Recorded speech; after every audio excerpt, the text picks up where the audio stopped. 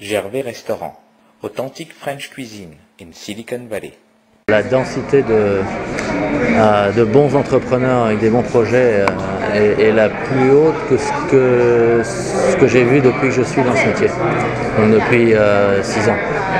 Alors, j'espère que c'est un indicateur plus global de, l'état de la, Silicon Valley et de, de l'industrie, mais j'ai les, les, les signes ont- sont plutôt positifs. À penser qu'il y a beaucoup d'opportunités dans des secteurs un peu traditionnels euh, du venture capital et la technologie qui sont euh, et- et- et le secteur du software, des technologies d'entreprise, d'infrastructure, qui sont souvent, euh, enfin, qui ont été délaissés un petit peu ces dernières années par pas mal de, de nos collègues.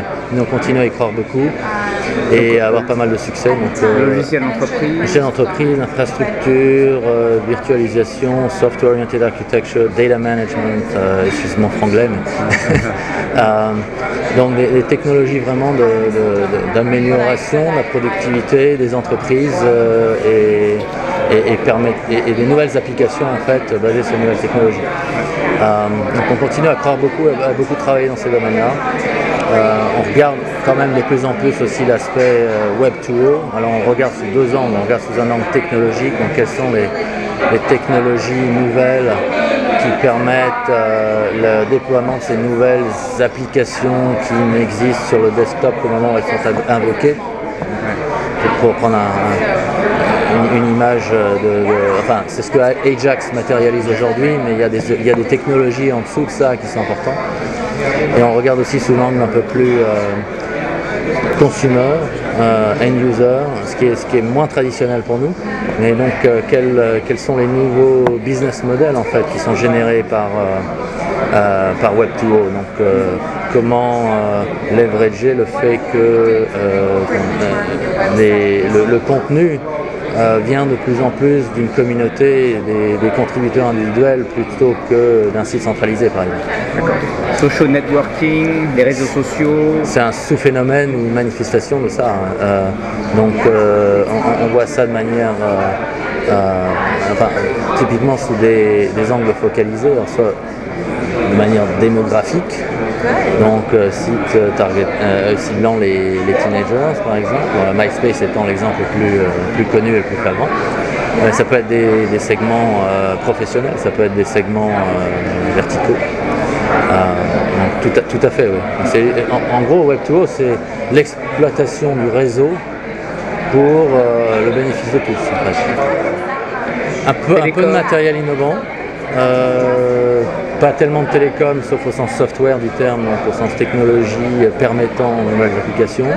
Et ce que j'ai pas mentionné aussi, c'est tout un, un segment de, je dirais de nouveau business model. Donc euh, ce qu'on remarque aujourd'hui, c'est que euh, les acheteurs de technologie ne veulent plus euh, faire des gros chèques. Ils veulent acheter, ils veulent payer pour la technologie au fur et à mesure de la valeur qu'ils reçoivent. Donc ça se manifeste par euh, des business models qui peuvent être le, open source, où on a tendance à payer plus pour le service, ou une fois qu'on a vraiment tiré la valeur de, de ce qu'on a installé.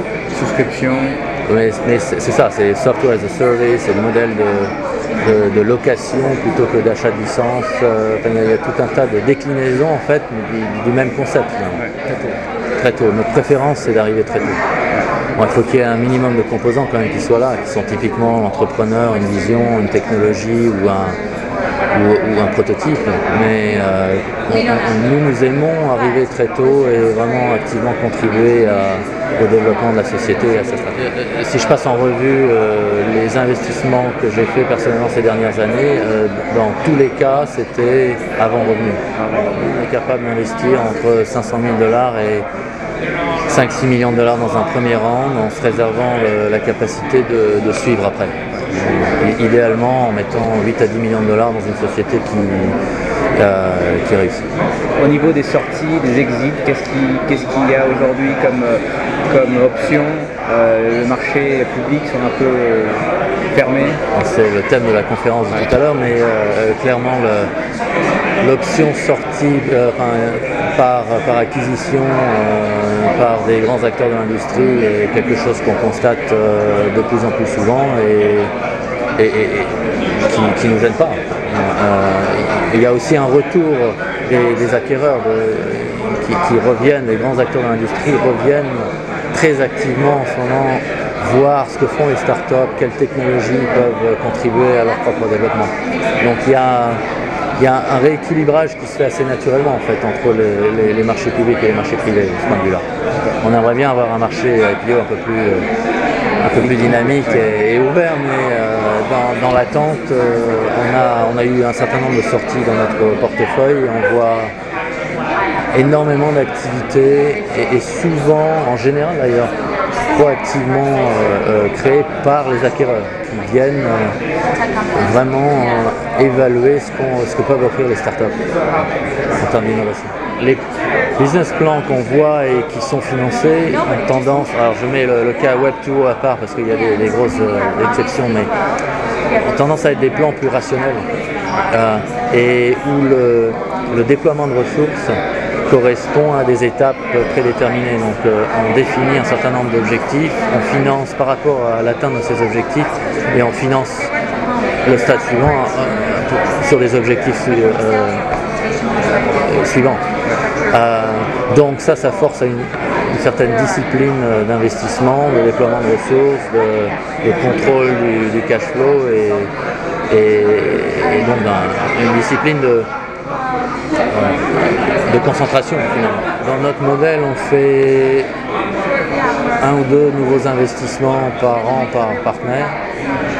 Et on en voit, on a une dizaine, donc, et on voit, on en voit des centaines, non, pas. Donc effectivement, il y a un filtrage sévère qui s'exerce. Il, il, y a un filtrage naturel qui s'effectue de ce point de vue-là parce que euh,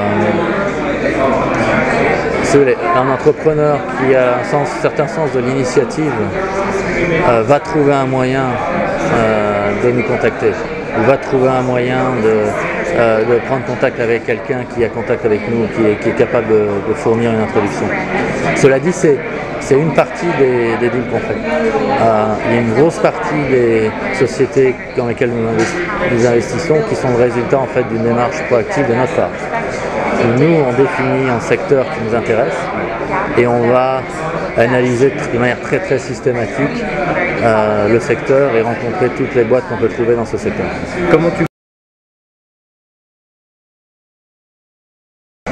Alors, effectivement, quand on regarde les chiffres macro, ça fait très impressionnant. On a l'impression que c'est démesuré. D'un autre côté, euh, ma vision terrain est plutôt euh, celle d'un environnement plus rationnel où euh, les sociétés qui sont financées ont des mérites euh, et où les, les, montants investis ne sont pas complètement ridicules. Donc il y, y, a un certain rationnel quand même. Donc j'ai pas l'impression d'un environnement qui soit complètement dé déséquilibré actuellement. Euh, contrairement à ce qui se passait il y a, il y a 2, 3, 4 ans. Même vis-à-vis -vis des valorisations aujourd'hui il, il, il, y a des, des sous-secteurs où, pas forcément, enfin l'industrie n'est pas forcément rationnelle, il y a plus de concurrence. Non. Euh, c'est un peu, un peu inévitable, mais c'est pas un, un macro-phénomène. Gervais Restaurant, authentique French cuisine in Silicon Valley.